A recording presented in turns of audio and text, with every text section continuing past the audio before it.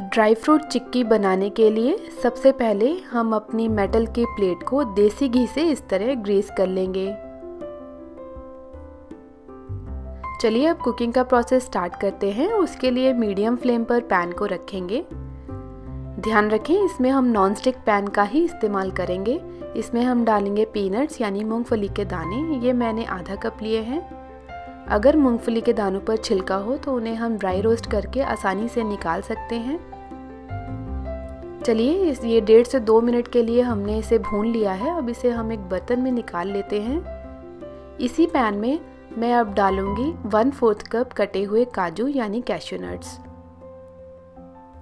one fourth cup ही मैंने ली है बादाम, यानी आमंड्स इनको भी हम दो मिनट के लिए इसी तरह ड्राई रोस्ट करेंगे।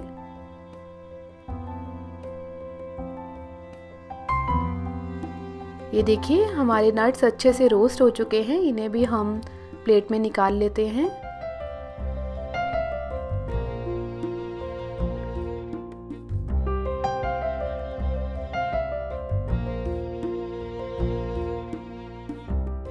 अगला स्टेप है गुड़ की चाशनी बनाना। उसके लिए नॉनस्टिक पैन में मैंने ले लिया है 250 ग्राम गुड़।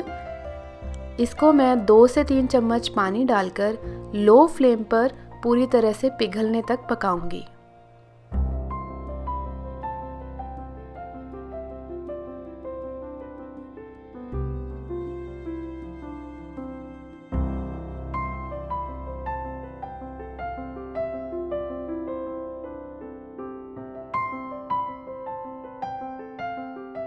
गुड़ काफ़ी हद तक पिघल चुका है। जो थोड़े बहुत टुकड़े बचे हैं, उन्हें आप स्पैचुला से क्रश करते जाएँ।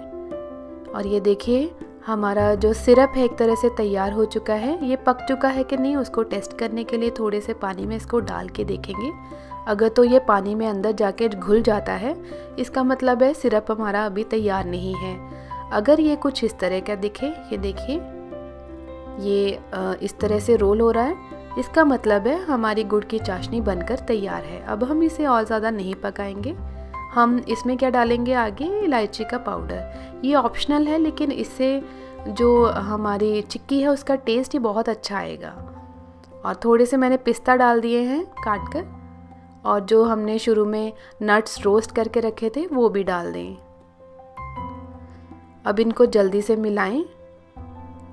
गैस का स्विच आप यहाँ पे बंद कर सकते हैं, क्योंकि इसे और ज़्यादा पकाने की ज़रूरत नहीं है। ये देखिए, इसको हमने अच्छे से मिला लिया है। अब हम इसे डाल देंगे ग्रीस की हुई प्लेट में। स्पैचुला से इसको इस तरह स्प्रेड कर लें। इसको काफ़ी जल्दी से करें, नहीं तो ये एक ही जगह हार्ड हो जाएगी। किसी फ्लैट कटोरी से या इस तरह के बर्तन को देसी घी लगाकर इसके ऊपर इस तरह प्रेस करें ताकि ये इवनली स्प्रेड हो जाए।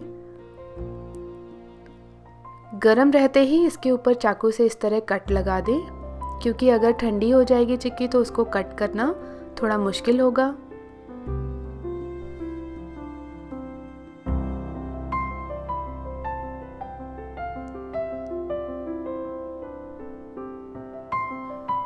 ड्राई फ्रूट चिक्की या गच्चक बनकर तैयार है। आप देख सकते हैं कितनी ही टेस्टी लग रही है देखने से ही और नट्स आप साइड से देख सकते हैं। ये देखिए। अभी ये काफ़ी गर्म है, हम इसको पूरी तरह से ठंडा होने के लिए छोड़ देंगे। तो लीजिए friends, crunchy dry fruit gachak बनकर तैयार है। इन सर्दियों में आप इसे ट्राई करें। गुड़, मिनरल्स और एंटीऑक्सीडेंट से रिच होता है, इसलिए आप इसे स्वीटनर की तरह ना देखें। ये हमारी हेल्थ के लिए काफ़ी अच्छा है, इसके बहुत सारे फ़ायदे हैं हमारी डाइजेशन के लिए। तो ज़रूर ट्राई करें ये रेसिपी और अपना फीडबैक मेरे साथ शेयर करना ना भूलें। रेसिपीज़ अगर आपको अच्छी लगती हैं तो प्लीज़ चैनल को सब्सक्राइब ज़रूर करें। जल्दी ही मिलेंगे एक और नई रेसिपी के साथ। Till then keep watching bye bye